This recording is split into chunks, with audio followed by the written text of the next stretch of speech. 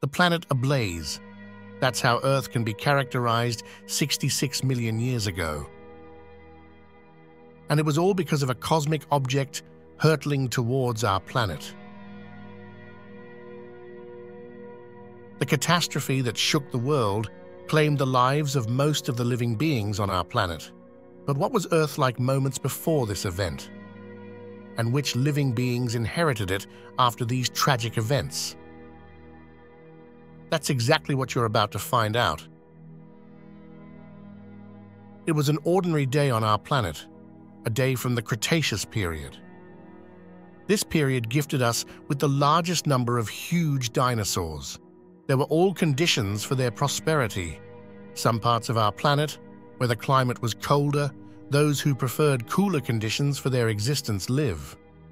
Closer to the equator, the temperature was much warmer, allowing other creatures to conquer their continents.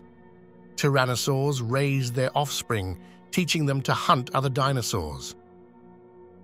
Some of them mastered the ability to swim. In the sky, pterosaurs soared high, carefully scanning their prey on the Earth's surface.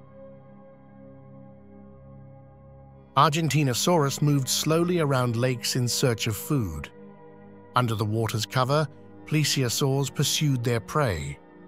Thanks to their powerful limbs, prey had practically no chance of escaping their demise. The climate at that time provided our inhabitants with the freedom of distribution. The humid climate predominant in North America and Central Europe allowed dinosaurs to easily find food. The average temperature of the Earth was 15 degrees higher than today, reaching around 29 degrees Celsius or 84 degrees Fahrenheit. And the world's ocean was 300 meters higher than it is now. All this allowed plants to reach the peak of their development. In addition to familiar conifers and ginkgo plants, flowering plants spread rapidly thanks to insect pollination. Grass began to grow everywhere, providing an excellent grazing ground for dinosaurs. This, incidentally, also reduced the number of conflicts between them, as when there is plant food available, many dinosaurs preferred not to attack their kin to avoid risks. Small reptiles also thrived during this period. Lizards still roamed various terrains, from arid deserts to humid jungles. Frogs still hunted small insects to replenish their food supplies. Crocodiles held their breath underwater to strike at the most unpredictable moment, and snakes silently slithered among fallen leaves to avoid making sounds. But in an instant, this entire cohesive mechanism collapsed, and the planet plunged into chaos. Seconds before this event, a huge asteroid was hurtling towards our planet. Its speed was about 27 kilometers per second. At this speed, it could fly from New York to San Francisco in just two minutes. Being the size of a large metropolis, it flew towards our planet. Collision.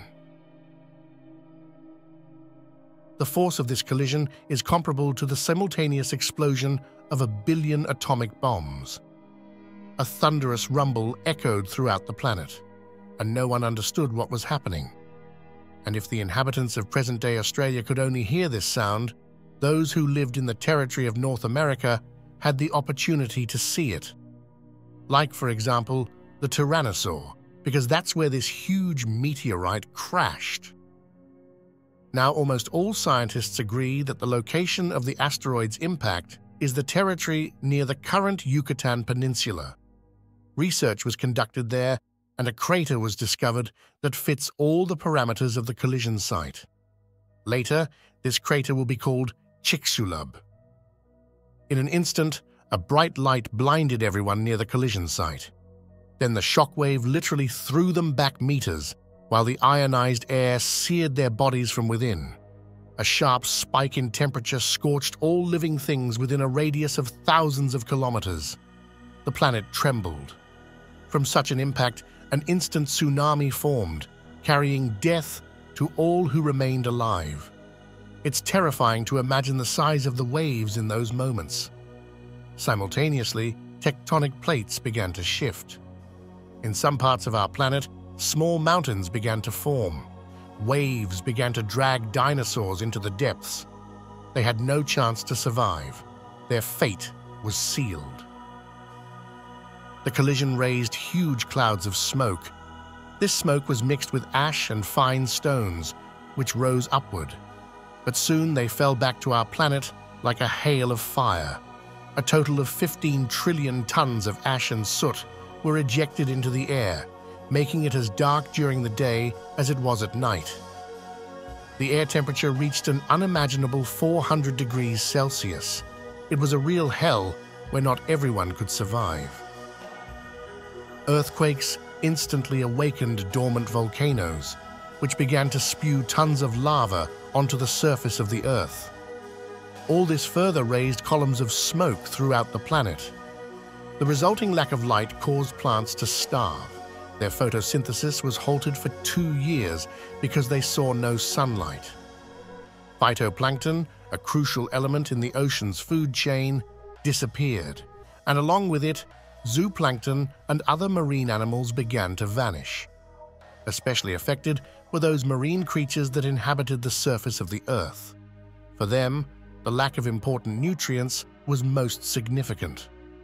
Moreover, due to the deaths of smaller marine inhabitants, there was literally nothing for large predators to eat. But those that dwelled in the depths of the seas and oceans felt relatively fine. After all, dead bodies sank to the bottom, where they were consumed by deep-sea scavengers. The living beings that managed to survive in the first days after the asteroid's fall could live a little longer. That's because they fed on the remains of their dead kin. But this didn't last long, as the supply began to run out, and they had no alternative ways of obtaining food. Eventually, they died agonizingly. During this period, our planet lost a huge number of living creatures. On land, a large number of lizards, insects, pterosaurs, and plants died. In the sea, plesiosaurs and mosasaurs became extinct. The number of bony fish, sharks, and mollusks decreased. In total, about 75% of all existing species of living organisms at that time became extinct. But the most well-known part of this mass extinction was the extinction of non-avian dinosaurs. They all perished. No longer could the roar of tyrannosaurs be heard, the stomping of Argentinosaurus, the howling of allosaurs, or the bellow of Triceratops. All of this remained in the history of our planet. But there were survivors, those who were in a safe oval sphere with a dense protective layer, those who had not yet hatched from eggs. And what is remarkable is that they were dinosaurs. But these dinosaurs were not like their ancestors. They had feathers. These feathers played a crucial role for them. After all, they helped retain heat inside their bodies. And this skill was critically important at that time, as the average temperature of the Earth began to sharply decrease due to the lack of sunlight. These creatures were birds. As history has shown, they became the most successful dinosaurs of all. After all, only they were able to survive the mass extinction at the end of the Cretaceous period. They learned a very important ability, the ability to eat plant seeds. Plant seeds, unlike leaves, bark, and other types of flora, can be stored in soil or on the ground for a very long time while maintaining nutritional properties. And it was these products that were available after the global extinction. Fortunately, the seeds managed to survive, as they were hidden deep in the soil. The family tree of dinosaurs was practically completely destroyed, and it was birds that managed to continue their lineage but they appeared even earlier, about 150 million years ago. Back then, they were much more ferocious than after the asteroid impact. They were true flying giants who controlled all the airspace of our planet. Azhdarchids were the main ones among them. Some of them could have a wingspan of up to 10 meters. The favorite prey of these creatures was fish, as they were much easier to catch. But giants like Quetzalcoatlus could also prey on small dinosaurs, lifting them up. They often competed with dinosaurs for the right to feast on carrion, and sometimes they even emerged victorious. Their skills were inherited by a large number of modern birds. Pelicans are one such example. Their bodies average about one and a half meters in length. Inhabiting shallow coastal waters and shallow freshwater and saltwater lakes, pelicans prefer to eat fish. They have loose feathers that quickly get wet. But pelicans have learned to squeeze them out with their beaks. They are not fond of flying, preferring to float on the water's surface and when they find prey, they dip their heads into the water and catch their prey. To maximize their catch, they often hunt in flocks, creating a semicircle so that fish practically cannot escape from them. Another group of fish-loving birds still inhabits Asia, fish owls. Despite their relatively small body size of 70 centimeters, their wingspan reached almost 2 meters. These birds are quite picky in their gastronomic preferences. Mostly, the fish owl feeds on salmon fish going for spawning. Usually, the fish owl hunts like this. It spots swimming fish from a rock, steep shore, or overhanging tree above the water, then dives into the water and grabs it with its talons. But long before the appearance of these creatures, birds often struggled with the landlords of that time dinosaurs. An example is Anchiornis, a small, feathered dinosaur. Behind the trees, a real dinosaur, Sinraptor, is closely watching him. Its gaze is fixed on a small female lost in the forest, and the stomach demands food. Chase. The clumsiness of Anchiornis plays a cruel joke on him. He constantly stumbles over stones. But luckily for him, Sinraptor cannot catch up with him. Only here, at the edge of the cliff, their chase is over. It seems that nothing can save the baby from death, nothing except its wings. Jumping off the cliff, it spreads them and begins to glide. It was from the ability to glide that the emergence of birds began. Later, they learned to flap them in flight. This allowed them to truly fly, and it revolutionized the sky, increasing the chances of birds in the fight against dinosaurs. And if back then they had relatively few chances, now we can observe how their struggle would have gone if their opponents were smaller. For example, the size of a monkey. In the tropical forests of southern Africa, there are a large number of monkeys, but their life is far from being a fairy tale. On the ground, they are stalked by silent and agile snakes. In the water, crocodiles wait to feast on them. They only have to hide in the trees. It would seem the best place to avoid collisions with other inhabitants. If not for one thing, harpy eagles, the heaviest eagles. Its strong talons can hold sloths and monkeys.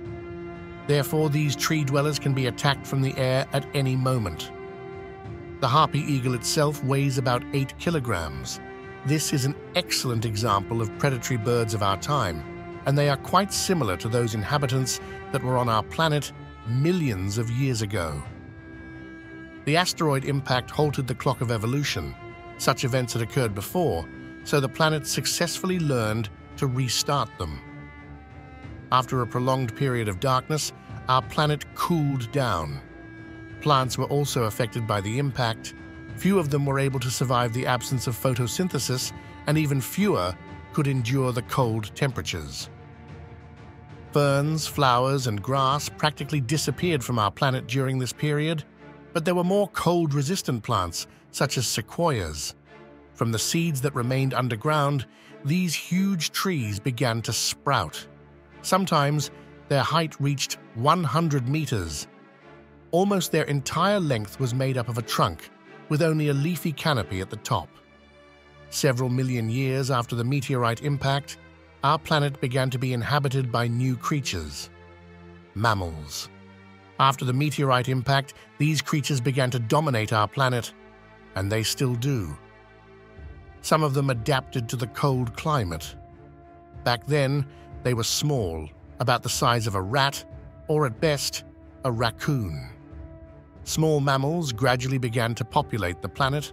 The absence of dinosaurs allowed them to emerge from their burrows, but they were already under the scrutiny of flying owls. With sharp eyesight, the owl stalks its prey. The aerial hunter dives down and consumes its victim. But not all survivors were of such size. There were those for whom mammals were true giants. These were cockroaches. They were true masters of adaptation.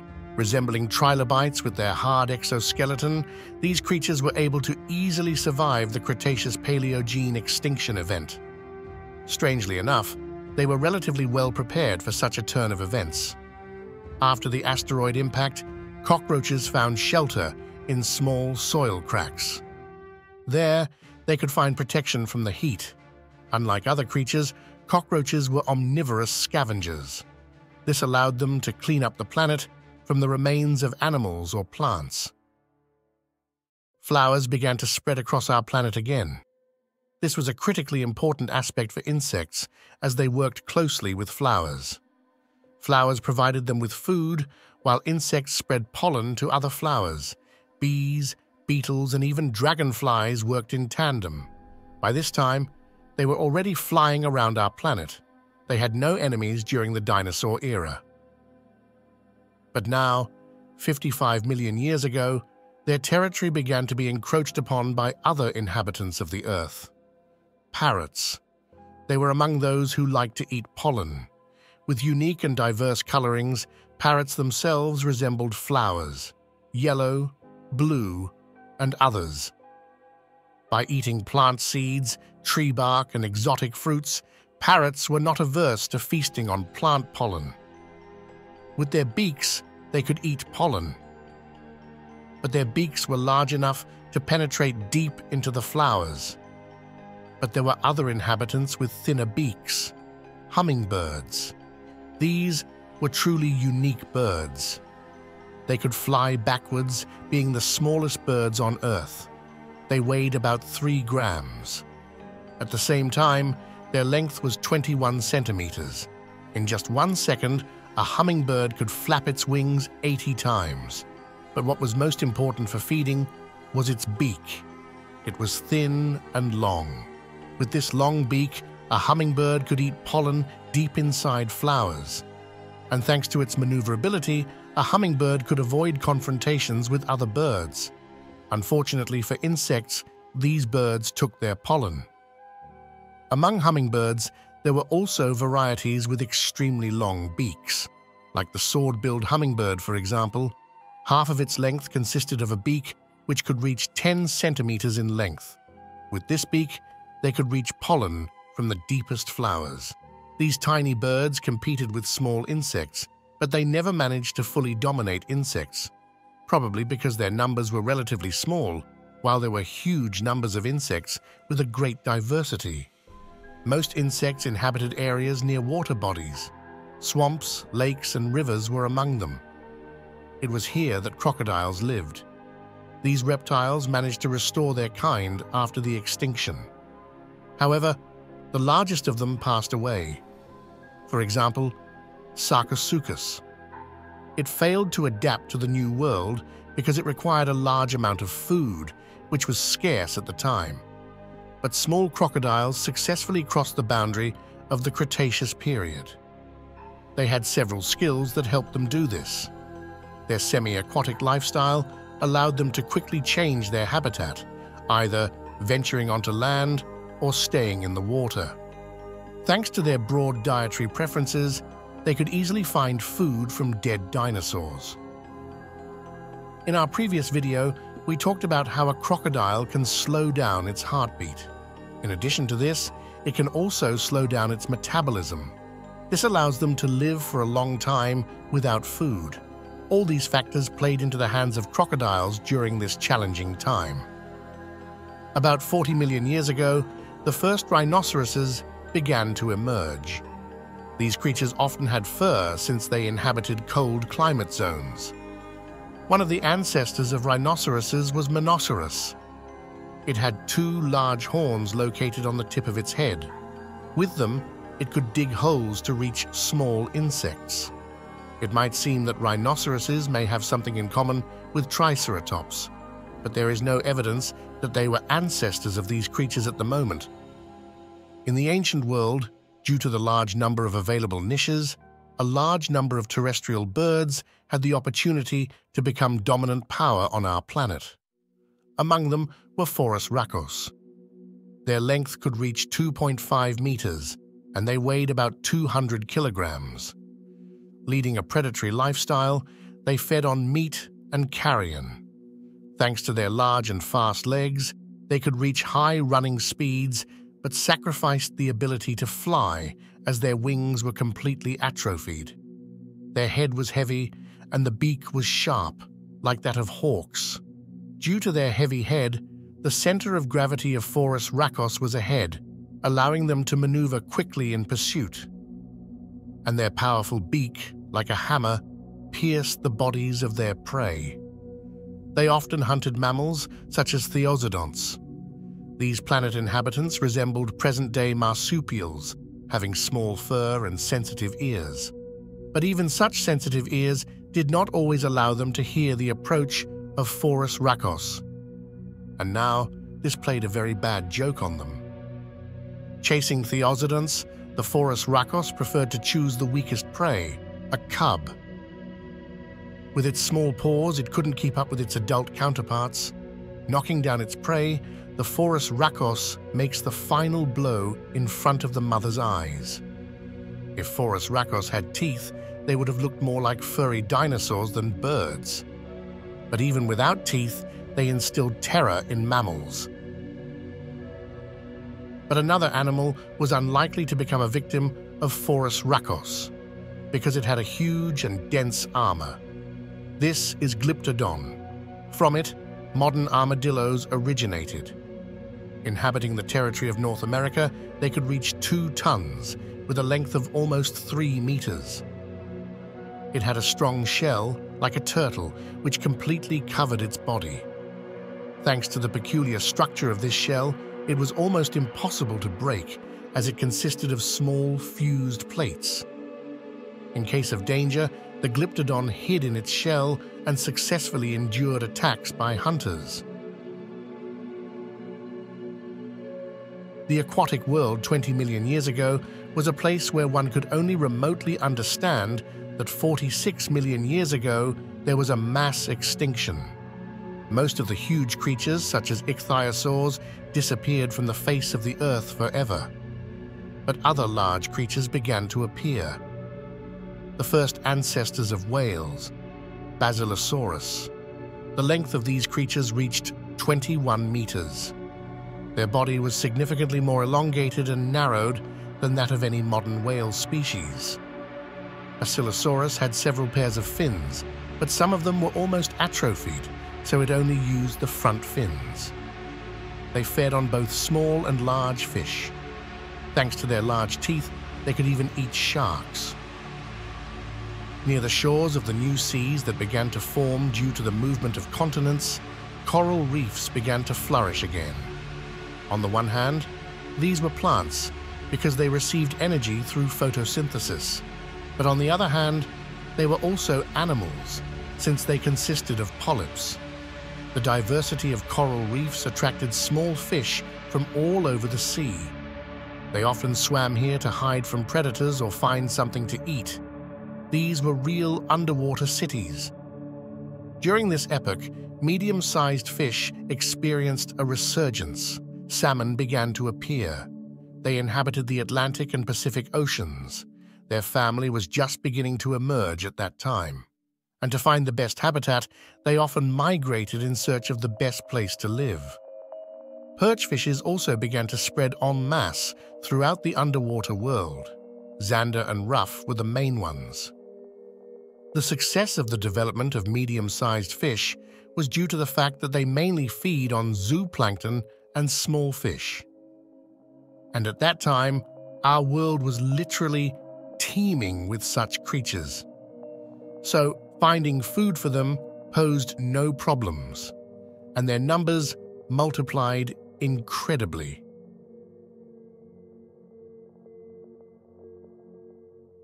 It was much more difficult to find food for larger creatures. Sharks were among them. After the meteorite impact, this species managed to survive and recover.